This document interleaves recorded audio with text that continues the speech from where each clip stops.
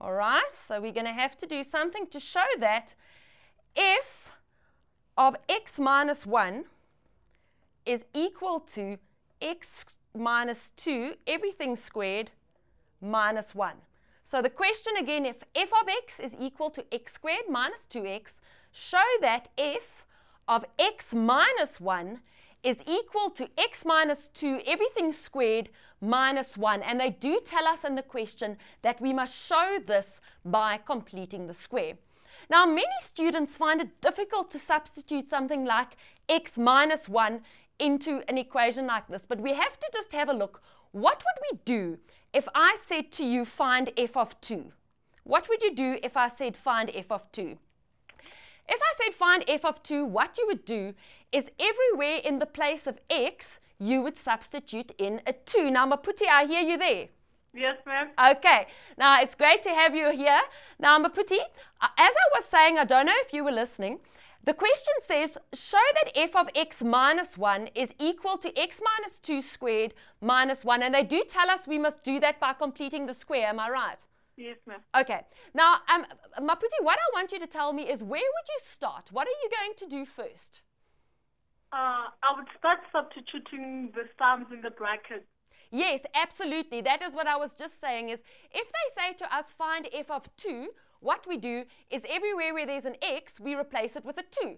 So if they say to us find f of x minus 1, all we're going to do is everywhere where there's an x, we're going to substitute in x minus 1. So we're on the same page there.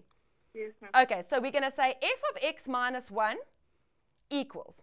Now let's go back to our original equation. f of x is x squared minus 2x. So do you agree with me?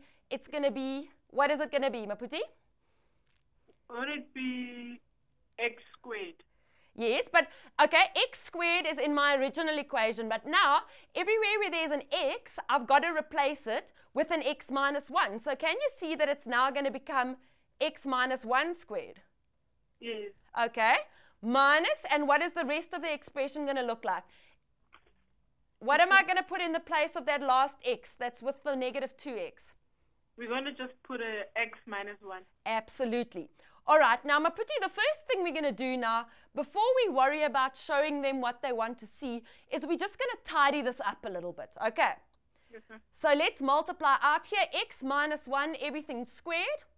That's going to be x squared minus 2x plus 1. Are you happy with that? Yes, ma'am. And then I multiply the negative 2 into the bracket, so it's going to be minus 2x plus 2. Yes, ma'am. Okay. And now I'm just going to add my like terms together and I get x squared minus 4x plus 3. All right, now Maputi, um, they asked me to show that f of x minus 1 is x minus 2, everything squared, minus 1, and they said that we must do this by completing the square. So you agree with me, we haven't completed the square just yet? Yes, ma'am. Okay, now can you talk me through the steps? How am I going to complete the square? What am I going to do? We're going to divide, we're going to put a bracket and then 1 over, two, we're going to put a half and then tell, multiply it with a constant number. No, no, no, no, no, no. I think you've got the. I, I'm not sure whether I'm following you, but but have a look at what I'm going to do. When I complete the square, is, and what we must remember now, Maputi, is that this is not an equation. It's not equal to zero. Okay. Now the first step in completing the square is we have to make sure that the coefficient of x squared is one. But do you see that's not a problem? In front of x squared, I do have a one here.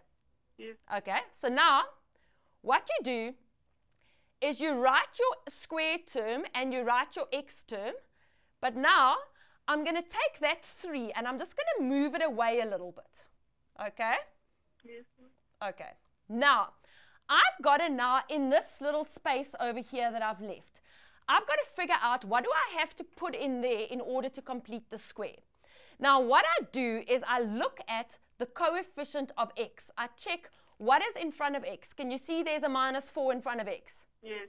Okay, now I'm going to halve it and I'm going to square it. So what is half of negative 4? It's 4. Yes, it's 4 that I'm going to add. Half of negative 4 is negative 2, and negative 2 squared is 4. So I'm going to add 4. But now, Maputi, I can't just start adding things in an equation. That's not cool, okay? Yes, so if I'm adding 4, what I must also do is I must also subtract 4. Yes. Okay. So let me just tidy that up a little bit. Okay, now this part over here that I've circled, the square is now completed. So that can be written as x minus 2, everything squared. Okay? Yes. And then negative 4 add 3 gives me negative 1. And I've done exactly what they've said. Do you see, see that? Mm. Okay, so in a question like this, um, for our viewers at home, if they ask you, show that the following expression can look like this, you're going to start with your um, substitution and you're going to be very careful, substitute incorrectly, tidy up your expression. And it's very important that you remember when you do start completing the square that this is not an equation. If it's equal to zero, what we do is we halve, we square, and we add both sides. But if it's not equal to zero, this is f of x minus 1 equals, then we halve, we square, we add it, but we also subtract it.